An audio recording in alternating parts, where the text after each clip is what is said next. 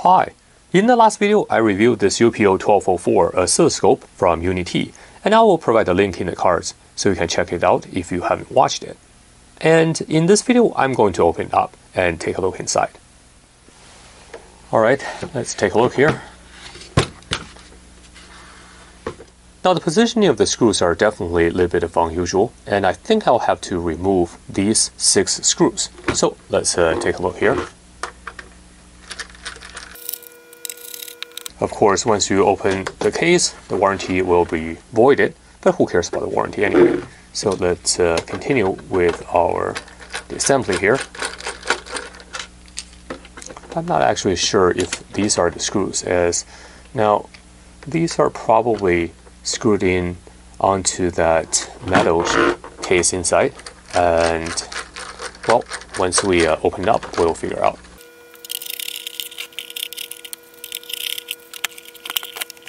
and it feels like it's still being held back by something. Nope. Actually you can see here uh, I missed two screws. There are two hidden under this uh, handle here. So I have to remove those as well. Okay.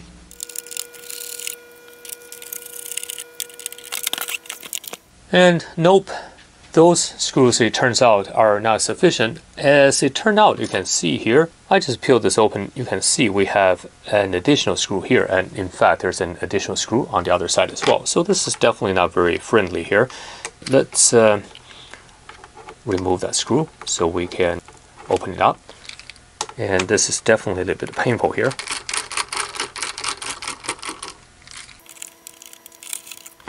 So on this side I can already feel it. Yep, it's right here. So let's uh, peel it open here. Yep, as you can see, we have another. Ah, there's a hidden, by the look of it, some kind of a connector. Maybe it's a USB or HDMI, I don't know, but uh, certainly it's not offered in this model here. Okay, so now with all the screws removed, it turns out we have probably 10 of them. Now I think we should be able to open this up. Yep.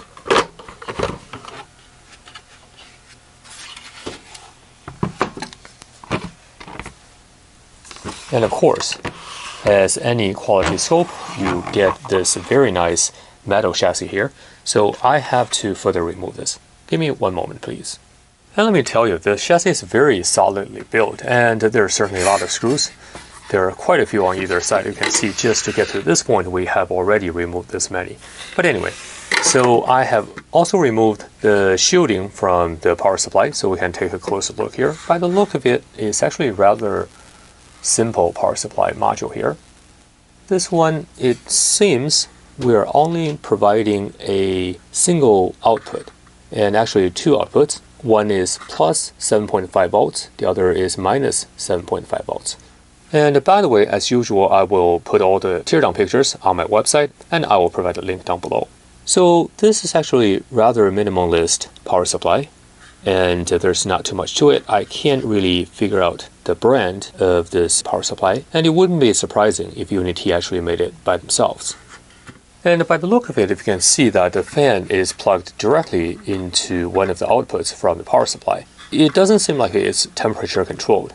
So this is why when we turn on the unit from the power supply in the back, and the fan turns on immediately. And in my opinion, if they can make this fan temperature controlled and does not turn on automatically, that would be even quieter.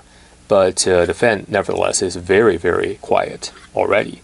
So not a big issue here. Alright, I have to say this gotta be one of the most involved teardowns I have done on this channel. As you can see here, I have taken so many screws out, the knobs and everything, but I still cannot remove this board from this case. And the problem right now I'm facing is you can see we have a cable and I will just gently pry it open as I don't want to damage anything here. There is a display cable on this side and I just can't figure out how to actually detach it because my finger doesn't go in and uh, certainly cannot reach that uh, tab. And then the cable is not long enough. And you can see here, the display is mounted right here. So I'm not sure how they did the assembly, but uh, this is really a head scratcher as I cannot take anything out because of that. I had to remove all the other screws. So luckily though, if you take a look underneath, I'm not sure if you can see, let's try a different angle here. There's not a whole lot going on.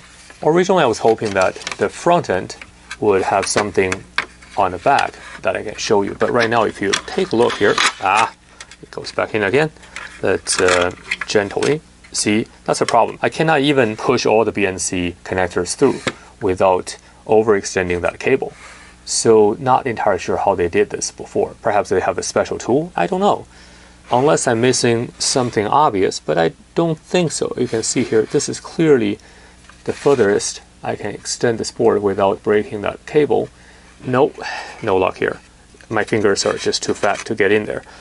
I don't know. This is really strange because that's the only thing preventing me from taking this board out. Anyway, so my point is, if you take a look at the back of the board here, and you don't see a whole lot, there's almost nothing on the back side. So uh, even the front end is, I would say there's some passives and perhaps a relay of some sort, and that's about it. And other than that, there's not a whole lot going on. And this side just, I no, I cannot push it any further without breaking that cable here. So uh, yeah, if you know how this could potentially come out, leave in the comments below and I'll try my best. But anyway, I'm not going to bother in this video. So I'll put it back and let's concentrate on what is on the back here. And here is a close-up of our input sections. And you can see that essentially the two sets are identical. That makes sense as we have channel 1 and 2 and channel 3 and 4. And let me tell you this, so far I'm really impressed with the build quality. Of course, it would be even nicer if it can be disassembled easier, but uh, that's a totally different story. And if you take a look at the shielding cans, these are not just your typical very thin, flimsy shielding cans. These are very rigid, very high quality shielding cans. And they have these slots, you can kind of slide it in to secure it onto the board. And underneath here, as you can see that we have two sets, as I mentioned earlier, and these are identical. If you look at one of the channels, you will see we have some trim pots, some of the caps to adjust the input characteristics of each channel. So obviously these are not electronically calibrated, but rather these are individually calibrated at the factory during the manufacturing process. For each of the channels, you have this solid state relay. Then we have three additional relays. So these are for your range switching and AC-DC coupling. And on this side, the ICs, I don't see there are any special ones. These two are the LMH65. Now, interestingly, these two are identical in terms of the marking, but they are in different packaging size. I wonder why. These are high-speed op amps. And the one next to that, that's a 4094, that's a shift register, so nothing special. Now, if you notice that we have two of these QFNs, so presumably one is for two channels, and these are LTC 2620. These are octo 12-bit DAC. So my guess is that that DAC is probably used to control both channels and used to set some programmable gains for the op amps. And that is really it for the front end here. Alright, let me move down. And in this section, we don't have a whole lot. You can see here we have some op amps. These are the 071s. And we have a shift register here. And these are actually linear regulators. So nothing interesting here. And by the way, this is the connector going to the front panel via this ribbon cable. That is for your controls. So clearly that's serial protocol here as we only have a few connectors. And of course I will need to reconnect it a little bit later. And up here we have another one of those. This one is a TPS 7A4501, which is a low dropout linear regulator.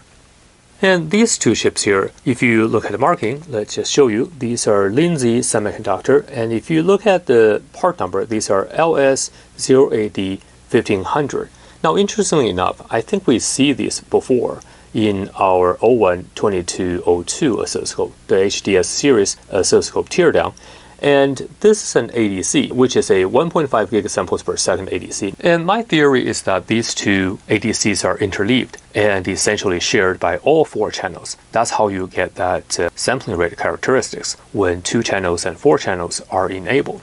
If these ADCs are independent, for example, one for channel 1 and 2, the other for channel 3 and 4, then you would not have the effect of turning on channel 3 and 4 would impact the overall sampling rate of channel 1 and 2. And then here we have two of these DDR memory chips. And here by the look of it, we have a MX6Y2CVM08AB. And that is an application processor with an ARM Cortex A9 core. Here we have an additional DDR memory chip and the chip up here, I'm not entirely sure what that is. That one has a marking of RCO820. It could be an application processor or it could be a Ethernet controller. I'm not entirely sure. We have DC-DC converters all over the place here, and here are more DC-DC converters. So that is pretty much all there is on this board. And of course, we have quite a few programming headers for different devices on board here. And the chip in the middle under that heatsink, that would be our FPGA. Now I did see that this one has a lot of thermal grease on, so I'm not going to take it off as I don't have any thermal grease to reapply on the chip. So that pretty much wraps up this teardown. Now I'm not going to bore you with reassembling everything back because there are just so many screws and it will take me a while. I hope you enjoyed the video. If you liked the video, please remember to give it a big thumbs up and don't forget to subscribe to the channel for more videos like this in the future. Your participation makes videos like this possible. Thanks for watching, and I will catch up with you next time.